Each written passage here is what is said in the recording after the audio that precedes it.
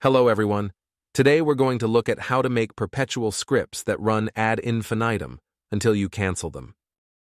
To do this, we're going to create a very simple and slow script that takes a few seconds to run. This is done on purpose. It works. Now, in the script settings, we'll go to the Runtime category and enable Perpetual Script. Now let's deploy the script and run it. A tag persistent has been added to the script.